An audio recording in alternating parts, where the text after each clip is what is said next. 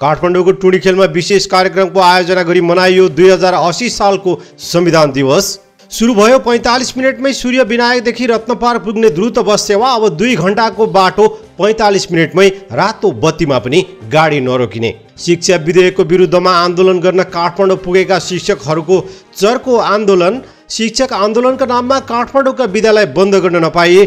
गरे कारवाही गर्ने काठमाडौँ महानगरपालिकाको चेतावनी। फेरि चर्कियो पशुपतिनाथको जलहरी प्रकरण। राष्ट्रपतिदेखि प्रधानमन्त्री कार्यालयसम्म हार गुहार यस विषयमा विशेष जानकारी दिनेछौँ। रामदेवले नेपाली गायक प्रकाश सपुतलाई सलमान र शाहरुख खान भन्दा पनि ठुला स्टार भनेर भारतमा चिनाए। संविधान दिवसका दिन रोल्पा पुगेर रवि लामी छानेले भने जनताले राजनीतिक नेतृत्वले धोका दिएको महसुस गरेका छन्।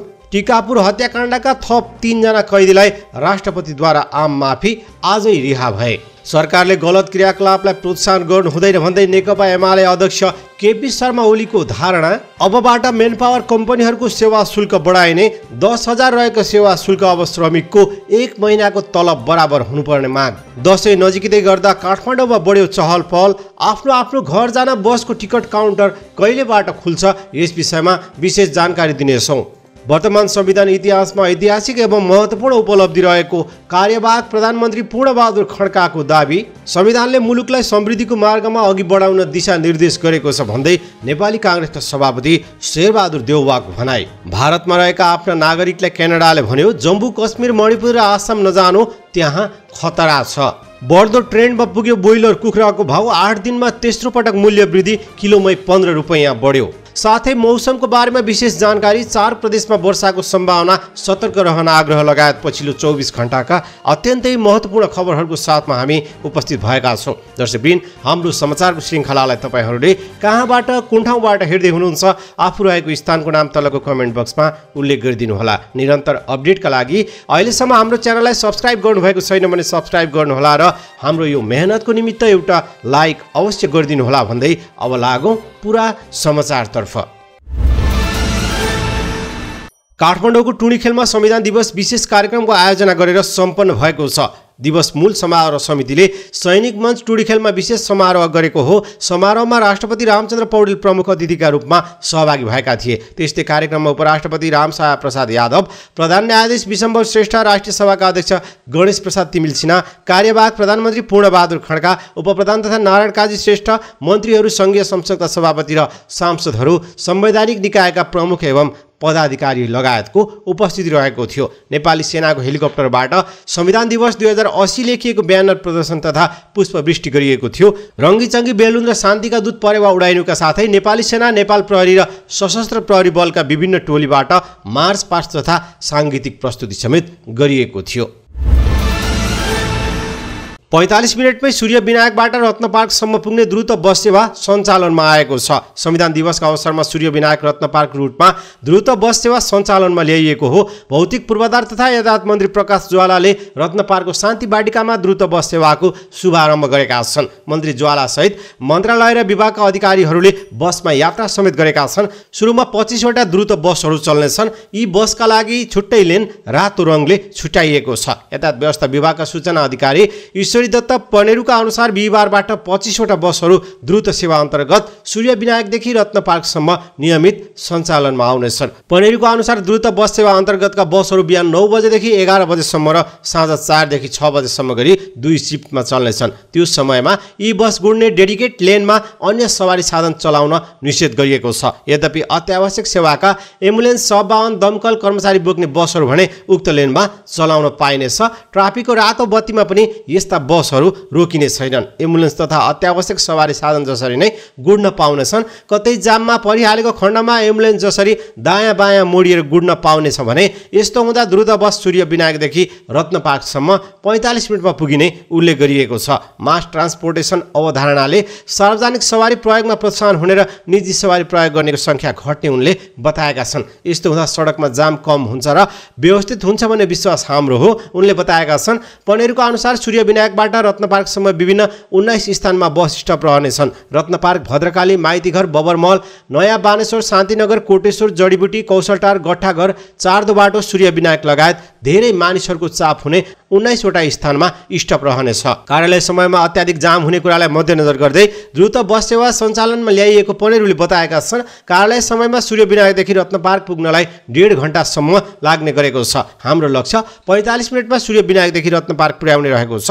उनले बताएका छन्। त्यसका लागि यात्रु चढाउने र ओह्राल्ने निश्चित ठाउँहरू तोकिएको छ र त्यस्ता बसहरूले यात्रु कुरेर बस्दैन तिस सेकेन्डभित्र यात्रुलाई चढाउने र ओह्राल्ने काम सकिसक्नु पर्नेछ नेपाल यातायात व्यवसाय महासङ्घको सहकार्यमा पच्चिसवटा बसहरू चलाइएको छ। द्रुत बस सेवा अन्तर्गत चल्ने बसहरू छुट्टै हुँदैनन्। यो रुटमा यसअघि चल्ने ठुला बसहरूलाई नै चलाइएको छ। यात्रुहरूलाई यी बसहरू ठम्याउन सजिलो होस् भनेर बसको अगाडिको भागमा द्रुत बस सेवा भनेर लेखिएको छ।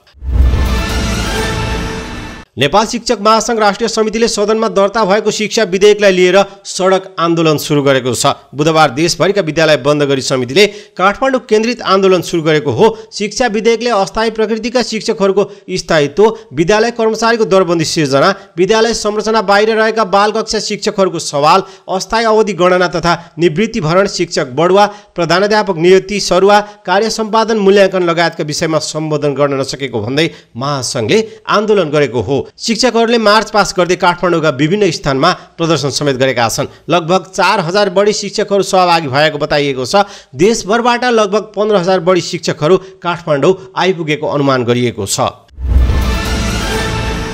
शिक्षक आन्दोलनका नाममा विद्यालय बन्द गरे काठमाडौँ महानगरले कारवाही गर्ने चेतावनी दिएको छ। राष्ट्रिय शिक्षक महासङ्घको अनिश्चितकालीन विद्यालय बन्दको घोषणालाई अस्वीकार गर्दै काठमाडौँ महानगरपालिकाले आन्दोलनका नाममा मातहतका विद्यालय बन्द गरे कारवाही गर्ने चेतावनी दिएको छ। हाल प्रस्तावित विद्यालय शिक्षा विधेयकप्रति असन्तुष्टि जनाउँदै देशभरका शिक्षकहरू काठमाडौँको माइती घरमा आन्दोलित बनिरहेका छन्। उनीहरूले असोज चार गते बिहिबारदेखि देशभर विद्यालय बन्दको घोषणा समेत गरेका छन्। तर काठमाडौँ महानगरपालिका भित्र भने आन्दोलनका नाममा विद्यालय बन्द गर्न नपाइने महानगरका प्रवक्ता नवीन महर्जनले जानकारी दिएका छन् विधेयकमा फरक मत पक्कै होला तर विद्यालय बन्द गरेर समस्याको हल निस्कँदैन। बरु उल्टै बालबालिकाको पढाइ प्रभावित हुन्छ उनले बताएका छन् आन्दोलनका नाममा विद्यालय बन्दको घोषणा हामीलाई मान्य छैन। विद्यालय बन्द गरे कारवाही गर्छौँ। यो सँगै विद्यालय बन्द गरेर विद्यालयमा हाजिर नहुने शिक्षकलाई पनि कारवाही गर्ने काठमाडौँ महानगरपालिकाले चेतावनी दिएको छ। हिन्दूहरूको आस्थाको केन्द्र पशुपतिनाथ मन्दिरको गर्भगृहमा राखिएको जलहरीमा भएको भनिएको भ्रष्टाचारको विषयमा अख्तियार दुरुपयोग अनुसन्धान आयोगको छानबिन प्रक्रिया अघि बढिरहेको बेला पशुपति क्षेत्र विकास कोषका अधिकारीले यस विरुद्ध दौडधुप सुरु गरेका छन्। अख्तियारले पूर्वाग्रही पूर्ण ढङ्गले मुद्दा दायर गर्ने तयारी गरेको जिकिर गर्दै कोषका सदस्य सचिव डाक्टर मिलन कुमार थापाको अगुवाईमा राष्ट्रपति कार्यालयदेखि प्रधानमन्त्री कार्यालयसम्म निवेदन परेको छ। थापाले नै सत्य तथ्य छानबिनको माग गर्दै मङ्गलबार राष्ट्रपति कार्यालय उपराष्ट्रपतिको कार्यालय प्रधानमन्त्री तथा मन्त्री परिषदको कार्यालय र संसद सचिवालय समितिमा निवेदन दिएका हुन्। थापाले संवैधानिक निकायबाट भएको छानबिनलाई चुनौती दिँदै राष्ट्रपति कार्यालयदेखि प्रधानमन्त्री कार्यालय र संसद सचिवालयसम्म निवेदन दिएका हुन्। निवेदनमा उक्त जलहरी तत्कालीन प्रधानमन्त्री केपी शर्मा ओलीको प्रत्यक्ष निर्देशनमा राखिएको र यसमा कुनै कमजोरी नभएको जिकिर गरिएको छ। निवेदनमा पशुपतिनाथको गर्भगृहमा रहेको शिवलिङ्गमा विक्रम सम्मत अठार सय अडतिसमा रणबहादुर शाहको पालामा चाँदीको जलहरी स्थापित भएको र उक्त चाँदीको जलहरीपछि दुई हजार चौबिस सालमा मर्मत गरिएको उल्लेख गरिएको छ। शिवलिङ्गको पिठिकामा राखिएको चाँदीको जलहरी धेरै फाटेर दैनिक पञ्चामृत पूजा गर्दा उक्त पदार्थ छिर्नकै गर्भगृह नै गन्ध आउने भएपछि चाँदीको एकभन्दा माथि दुई हजार सतहत्तर सालको शिवरात्रि ताका सुनको जलहरी स्थापना गरिएको निवेदनमा उल्लेख गरिएको छ। तत्कालीन राष्ट्रपति विद्यादेवी भण्डारीले दुई हजार सतहत्तर साल फागुन बाह्र गते विशेष पूजा गरी जीर्ण चाँदीको जलहरीमाथि सुनको जलहरी स्थापना गरेकी थिइन्। राज्यको संवैधानिक निकायले राज्य र पशुपतिनाथमा सेवा गर्नेहरूलाई अनावश्यक ढङ्गबाट तनाव दिने कार्य गरेकाले राष्ट्रपति कार्यालयदेखि संसद सचिवालयसम्म उजुरी पेश गर्नु परेको निवेदनमा उल्लेख गरिएको छ। भारतीय योग गुरु रामदेवले नेपाली गायक तथा अभिनेता प्रकाश सपुतलाई नेपालका सलमान शाहरुख र अमिर भन्दा पनि ठुलो स्टार भएको बताएका छन्। पतञ्जलि योगपीठले नयाँ दिल्लीको इन्दिरा गान्धी स्टेडियममा आयोजना गरेको विशेष कार्यक्रममा सपुतले साङ्गीतिक प्रस्तुति दिन गएका सपुतलाई नेपालका सलमान शाहरुख खान र अमिर भन्दा पनि ठुलो स्टार भएको उनले बताएका हुन्। स्टेजमा प्रस्तुति दिन उक्लिएका सपुतलाई रामदेवले अङ्गालो हाल्दै नेपालका ठुला स्टारको रूपमा चिनाएका थिए। त्यस्तै रामदेवले संसारभर नेपाली समाजको गौरव बढाउन पनि सपुतलाई शुभकामना दिएका छन्। सपुतले पनि यो प्रस्तुतिपछि यो सफलता आफ्नो लागि अमूल्य रहेको बताएका छन्। उनले लेखेका छन् दर्शकहरू माझ पुग्नुको आनन्द अरू केहीसँग तुलना हुन सक्दैन। पछिल्लो चार वर्ष मैले देश विदेशमा छरिएर रहनुभएका नेपालीहरूको अथाह माया प्रत्यक्ष महसुस गर्न पाएको छु। एउटा गायक र कलाकारका रूपमा गीत र भिडियो मार्फत र एउटा पर्फर्मरका रूपमा स्टेज मार्फत आफ्नो क्षमता र क्षेत्रअनुसार यो सफलता मेरो लागि अमूल्य र अकल्पनीय रहेको छ। प्रकाश सपुतले यस्तो लेखेका छन्।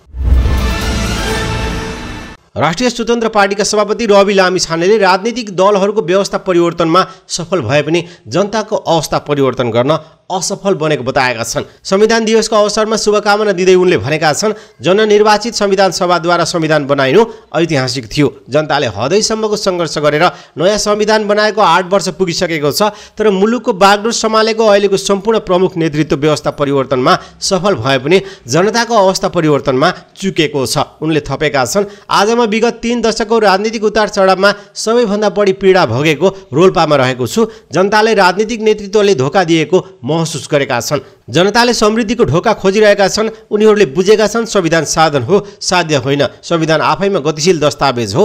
हाम्रो संविधानमा धेरै सबल र उन्नत लोकतान्त्रिक पक्षहरू भए पनि केही संरचनागत व्यवस्थाहरूले राज्यलाई बोजिलो बनाएको छ। संविधान स्वयंले नै लोकतान्त्रिक प्रक्रियाद्वारा संशोधनको बाटो खुला राखेको उनले लोकतान्त्रिक व्यवस्थाको सदुपयोग गर्दै हाम्रो संविधान देश र जनतालाई समृद्धिको बाटोमा अगाडि लैजाने साधन बनोस् भन्ने कामना समेत गरेका छन्। उनको आशय संविधान फेरि संशोधन हुनुपर्ने रहेको छ। संविधान दिवसको अवसरमा टिकापुर घटना मुद्दाका तिनजना कैदीबन्दी कैलाली कारागारबाट आज रिहा भएका छन्। टिकापुर नगरपालिका चार ठारापुरका वीरबहादुर चौधरी जानकी गाउँपालिका साथ मोतीपुरका हरिनारायण चौधरी र जानकी साथ लटकनियाका प्रदीप चौधरी रिहा भएको कारागारका प्रमुख पदमराज तिमिल सिन्हाले बताएका छन्। उनीहरू टिकापुर घटना मुद्दामा आठ वर्षदेखि जेलमा रहेका थिए। टिकापुर मुद्दाका यी तिन सय नौजना आज रिहा भएको उनीहरूले बताएका छन्। संविधान दिवसका अवसरमा राष्ट्रपति रामचन्द्र पौडेलले छ सय सत्तरीजना कैदीको सजाय माफी मिना गरेका थिए। यही क्रममा टिकापुर घटनाका अभियुक्तहरू पनि रिहा भएका हुन्। नेकपा एमालेका अध्यक्ष केपी शर्मा ओलीले सरकारले गलत क्रियाकलापलाई प्रोत्साहन गर्न नहुने बताएका छन्। बुधबार काठमाडौँको नक्साल स्थित नारायण चौरमा पार्टीले आयोजना गरेको राष्ट्रिय झण्डासँग सेल्फी कार्यक्रमलाई सम्बोधन गर्दै उनले यस्तो बताएका हुन्। अध्यक्ष ओलीले सरकारले देखावटी रूपमा एउटा कुरा गर्ने र भित्रभित्र अर्को खालको व्यवहार देखाउन नहुने जिकिर गरेका छन्। उनले सरकारले सही क्रियाकलाप अघि नबढाउने लगायतका तौर तरिकाहरू गर्न नहुने जिकिर गरेका छन्। संविधान दिवस नेपाली जनताको साझा दिवस भएको पनि उनले जिकिर गरेका छन्। उनले उपलब्धिहरूलाई समाप्त समाप्त पार्न खोज्ने अभिव्यक्ति क्रियाकलापहरू देखिने गरेको भन्दै क्रियाकलापहरूप्रति दुःख समेत व्यक्त गरेका छन्। जनताको एकता उन्नतिका लागि विभाजनकारी प्रवृत्ति जनतामा खटपट ल्याउने प्रवृत्ति राष्ट्रिय एकतामा खलल पुर्याउने प्रवृत्ति क्षेत्रीय साम्प्रदायिक जातीयवादी अथवा आस्थाका विभिन्न नाममा गरिएका उशृङ्खल खालका क्रियाकलापहरू राष्ट्रिय एकताको पक्षमा नरहेको ओलीले जिकिर गरेका छन्। सरकारले मेन पावर व्यवसायको सेवा शुल्क वृद्धि गर्ने निर्णय गरेको छ। वैदेशिक रोजगारीमा पठाइए बापत मेन पावर व्यवसायले श्रमिकको एक महिनाको पारिश्रमिक बराबर सेवा शुल्क लिन पाउने गरी निर्णय गरेको हो। प्रधानमन्त्री पुष्पकमल दाहालले श्रम आप्रवासनका विषयमा छलफल गर्न गत साता विभिन्न तेह्रवटा मुलुकका राजदूतहरूलाई काठमाडौँमा डाकेका थिए। विदेश स्थित नियोग प्रमुख सहित श्रम मन्त्रालय परराष्ट्र मन्त्रालय र गृह मन्त्रालयका प्रतिनिधि सहितको उच्च स्तरीय बैठकले विभिन्न सडचालिस बुदामा छलफल गरेको थियो। छलफलमा मेन पावर व्यवसायले लिन पाउने शुल्कको वृद्धि गरिने निर्णय गरेको श्रम रोजगार तथा सामाजिक सुरक्षा सचिव केवल प्रसाद भण्डारीले जानकारी दिएका छन्। दस हजार सेवा शुल्क व्यावहारिक भएन भन्ने बैठकको निष्कर्ष रहेको हो। त्यसैले वृद्धि गर्ने भन्ने विषयमा सबै सहमतिहरू भएका हुन् तर निश्चित कति हुने भन्ने निर्गोल भएको छैन। उनले बताएका छन् यस विषयमा व्यवसायीसँग छलफल गरेर पछि निर्णय गरिनेछ। सेवा शुल्क सीमा समिति पनि तोकिने उनले बताएका छन्। नेपालीहरूको महान चाड दसैँ नजिकैसँगै बजारमा चहल पहल बढ्न थालेको छ। चाडबाडको व्यापारका लागि व्यापारिक प्रतिष्ठानहरूमा तयारी सुरु भइसकेको छ भने सरकारी कम्पनी खाद्य तथा व्यापार कम्पनीले दसैँमा बेच्न खसी बोका ल्याउने तयारी समेत सुरु गरेका छन्। माथि लेकबाट च्याङ्रा पनि ल्याउन थालिएका छन् भने दसैँ सुरु हुन अब पच्चिस दिन मात्र बाँकी रहेको छ। रोजगारी शिक्षा र विभिन्न कारणले टाढा पुगेकाहरू दसैँमा गाउँघर फर्कने गरेका छन्। काठमाडौँबाट विभिन्न जिल्लाहरूमा जानका लागि बस टिकटको अग्रिम बुकिङ खुल्ने गर्दछ। दसैँ मान्न आठ दस लाख बाहिरिँदा उपत्यका सुनसान जस्तो नै हुने गरेको दसैँलाई खुल्ने अग्रिम बुकिङको तयारी यो पटक कस्तो छ? गाउँघर पुग्ने बाटो सहज होला कि नहोला भन्ने चिन्ता यति बेला सबैमा बढेको छ। यसपटक दसैँ नजिकै गर्दा राजधानीको बालाजु स्थित नयाँ बस पार्क भने सुनसान रहेको छ। बस पार्कमा यात्रुहरूको चाप सुरु भएको देखिँदैन। दसैँको एक महिना अगाडिदेखि बस टिकटको बुकिङ खुल्ने गरेको थियो। यो पटक खुल्ने मितिको अहिलेसम्म टुङ्गो लागेको छैन। नेपाल यातायात व्यवसाय राष्ट्रिय महासङ्घले टिकटको अग्रिम खुल्न बाँकी रहेको जानकारी दिएको छ। महासङ्घ अध्यक्ष विजयबहादुर सुवारले तयारी भइरहेको बताएका छन्। हामी तयारी गरिरहेका छौँ। चाँडै नै खुल्नेछ। उनले भने असोजको चौबिस पच्चिस गतेतिर टिकट खुलाउने तयारी हामीले गरिरहेका छौँ। उनले यस्तो बताएका छन्। टिकटको अग्रिम बुकिङ खुलाउन व्यवसाय मात्रै तयार भएर नहुने उनले बताएका छन्। सरकारले पनि तयारी गर्न आवश्यक छ उनले बताएका छन्। जसमा सडक विभाग यातायात व्यवस्था विभाग प्रहरी र सम्बन्धित निकायले छलफल गरेर मात्र टिकट खुलाउने निर्णय गर्न सकिने उनले बताएका छन्।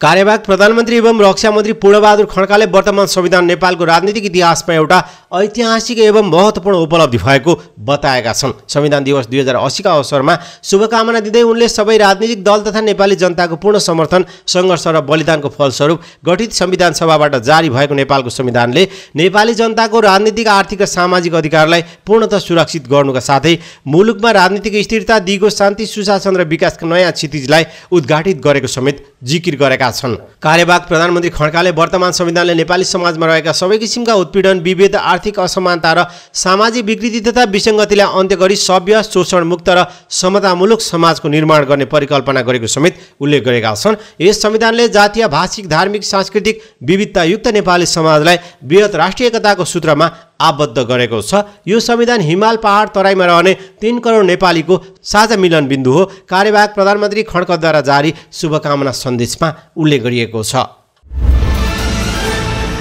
भारत र क्यानाडा बीचको कुटनीतिक विवाद चर्किँदै गएको छ। क्यानाडामा खलिस्तान अभियानका सिख नेता हरदीप सिंह निज्जरको हत्या भएपछि प्रधानमन्त्री जस्टिन टुडोले हरदीपको हत्यामा भारतको हात भएको अनुसन्धानमा देखिएको बताएका छन्। क्यानाडाले एक भारतीय कुटनीतिज्ञलाई देश निकाला गरेपछि भारतले पनि क्यानाडाका वरिष्ठ कुटनीतिज्ञलाई पाँच दिनभित्र भारत छाड्न आदेश दिएको छ। यस्तोमा क्यानाडाले फेरि मङ्गलबार राति आफ्ना नागरिकलाई भारतको जम्मू कश्मीर मणिपुर र आसाम भ्रमण नगर्नु भन्दै निर्देशन जारी गरेको छ। भारतका उक्त स्थानमा आतङ्कवाद र अपहरणको खतरा भएको क्यानाडा सरकारको भनाइरहेको छ। क्यानाडाका प्रधानमन्त्री जस्टिन टुडो ट्रुडोले हालै त्यहाँको संसदमै हरदीप सिंह निज्जरको हत्याको विषयमा भनेका थिए। क्यानाडाको भूमिमा यहाँकै नागरिकको हत्यामा कुनै पनि विदेशी सरकार संलग्न हुनु त्यो हाम्रो सार्वभौम सत्ताको अस्वीकार्य उल्लङ्घन हो। उनका अनुसार भारतीय मूलका सिख समुदायका नागरिकहरू हरदीप सिंहको हत्याले आक्रान्त बनेका छन्। उनीहरू आफ्नो सुरक्षालाई लिएर चिन्तित रहेका छन्। टुडोका अनुसार क्यानाडा सरकार भारतसँग तनाव बढाउन चाहँदैन। तर भारतले यी मुद्दालाई गम्भीरतापूर्वक लिनुपर्दछ। तर भारत भने क्यानाडाले लगाएको सबै आरोपको खण्डन गर्दै आएको छ। भारतीय विदेश मन्त्रालयले भनेको छ क्यानाडाको सबै आरोप झुटा रहेका छन्। यस्तै आरोप क्यानाडाका प्रधानमन्त्री टुडोले हाम्रा प्रधानमन्त्री समक्ष पनि राखेका थिए र सुरुमै ती आरोपलाई खारेज गरिएको थियो। भारतले यस्तो जिकिर गरेको छ। पछिल्लो समय यही विषयलाई लिएर क्यानाडा र भारतको निकै चर्को विवाद समेत चुलिन सक्ने बताइएको छ। ब्रोइलर कुखुराको मासु पुनः महँगो भएको छ। राष्ट्रिय कुखुरा बिक्री व्यवसाय सङ्घको बैठकले बुधबारदेखि लागू हुने गरी ब्रोइलर कुखुराको मूल्य बढाएको हो। कुखुराको मासुमा भएको मूल्य वृद्धि पछिल्लो आठ दिनमा तेस्रो पटक भएको हो। सङ्घको निर्णय अनुसार जिउँदो ब्रोइलर कुखुराको कोल्ड स्टोर खरिद मूल्य प्रति किलो दस रुपियाँले वृद्धि गरिएको छ। अर्थात् अब जिउँदो ब्रोइलर कुखुराको मूल्य प्रति किलो दुई सय अस्सी रुपियाँ पुगेको छ। यता जिउँदो ब्रोइलर कुखुराको मूल्य वृद्धि हुँदा तयारी मासुको मूल्यमा पनि वृद्धि भएको छ। हाल बजारमा ब्रोइलर कुखुराको तयारी मासु प्रति किलो चार सय रुपियाँदेखि चार सय पन्ध्र रुपियाँसम्म बिक्री भइरहेको छ। जिउँदो कुखुराको मूल्य प्रति किलो दस रुपियाँ वृद्धि हुँदा तयारी मासुको मूल्य भने प्रति किलो पन्ध्र रुपियाँ बढ्ने व्यवसायीहरूले बताएका छन्। कुखुराको मासुमा भएको मूल्य वृद्धि दसैँ तिहारको मुखमा थप बढ्न सक्ने अनुमान गरिएको छ। नेपालमा हाल मनसुनको न्यून चापिया रेखा सरदर स्थानको दक्षिणतिर अवस्थित रहेको छ। जल तथा मौसम विज्ञान विभाग मौसम पूर्व अनुमान महाशाखाका अनुसार हाल लुम्बिनी प्रदेशमा सामान्य बदली रही थोरै स्थानहरूमा हल्का वर्षा भइरहेको छ भने बाँकी प्रदेशमा आंशिक बदलीदेखि सामान्यतया सफा रहेको छ। राति भने देशभर आंशिकदेखि सामान्य बदली रहनेछ कोशी बागमती गण्डकी प्रदेशका केही स्थानहरूमा र बाँकी प्रदेशका एक दुई स्थानमा मेघ गर्जनसहित चट्याङसहित हल्का वर्षादेखि मध्यम वर्षाको सम्भावना समेत रहेको जल तथा मौसम विज्ञान विभागले जानकारी दिएको छ। कोशी बागमती गण्डकी लुम्बिनी र सुदूरपश्चिम प्रदेशका केही स्थानहरूमा र बाँकी प्रदेशका थोरै स्थानहरूमा मेघ गर्छन् र चट्याङसहित हल्कादेखि मध्यम वर्षाको सम्भावना रहेको छ। कोशी र गण्डकी प्रदेशको एक दुई स्थानहरूमा भारी वर्षाको समेत सम्भावना रहेको छ भने वर्षाका कारण त्यस क्षेत्रहरूमा हुने नदीको जल सतह हल्का बढ्न सक्ने गेग्रान बहाव बाढी पहिरो भुस्या जस्ता प्रकोप हुन सक्ने भएकाले जनस्वास्थ्यलाई ध्यानमा राखी यस्ता स्थानहरूमा सुरक्षित रूपमा रहन महाशाखाले सबैलाई अनुरोध समेत गरेको छ। दर्शकवृन्द यी थिए विगत चौबिस घन्टाका अत्यन्तै महत्त्वपूर्ण र हेर्नै पर्ने खबरहरू। तपाईँहरूलाई हाम्रो यो खबर श्रृङ्खला कस्तो लाग्यो? अवश्य पनि तपाईँको मत तलको कमेन्ट बक्समा उल्लेख गर्नुहोला र हाम्रो यो मेहनतको निमित्त भिडियोलाई अवश्य पनि एउटा लाइक गर्नुहोला। निरन्तर अपडेटका लागि अहिलेसम्म हाम्रो च्यानललाई सब्सक्राइब गर्नुभएको छैन भने कृपया सब्सक्राइब गरेर हामीसँग जोडिनुहोला। अर्को विशेष समाचार श्रृङ्खलामा पुनः भेट्ने बाचासहित अहिलेको लागि हामी बिदा चाहन्छौँ। यहाँहरूको समय शुभ रहोस् हवस् त नमस्कार।